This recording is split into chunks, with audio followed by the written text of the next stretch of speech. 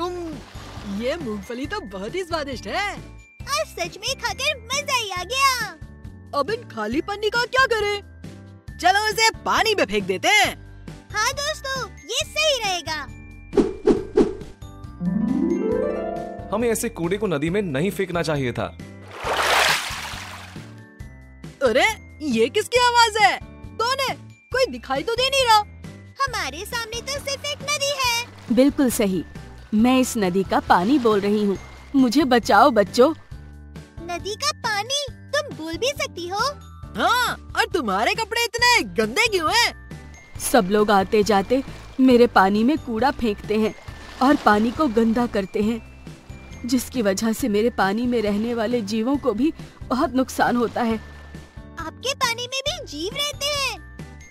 हाँ ये देखो अभी अभी आप बच्चों ने भी ये प्लास्टिक की पन्नी मेरे पानी में डाली।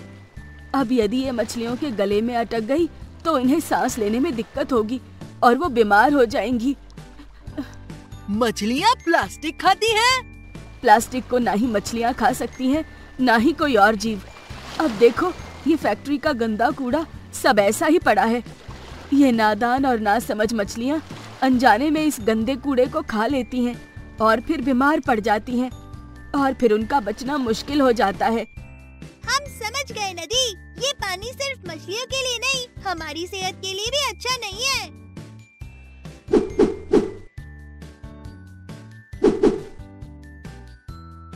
नदी अब आप कितनी सुंदर लग रही हो। हाँ सच में। शुक्रिया बच्चों मुझे फिर से पहले जैसा बनाने के लिए। वादा करते हैं। हम आगे से किसी भी नदी तालाब और किसी भी तरह के साफ़ पानी को गंदा नहीं करेंगे। कूड़े को हमेशा कूड़ेदान में ही डालेंगे। और सभी को साफ़ रखने के लिए भी कहेंगे।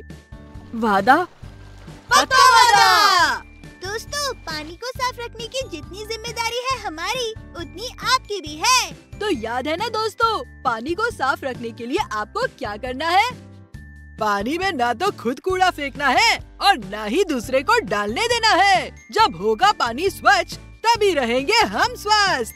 बाय बाय दोस्तों, अगले वीडियो में आपसे फिर मिलेंगे।